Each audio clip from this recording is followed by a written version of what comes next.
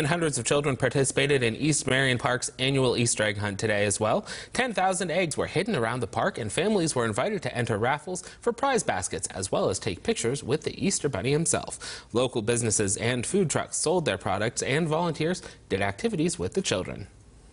Oh, it's great. It's just giving back to the public, having a nice event for the people in the community, um, something safe, something fun for the kids to do, and the kids love hunting the Easter eggs. So there's 10,000 of them. There's plenty for each of them. You figure if there's 500 people, well, that, that's 500 kids. That's a lot of eggs for each kid.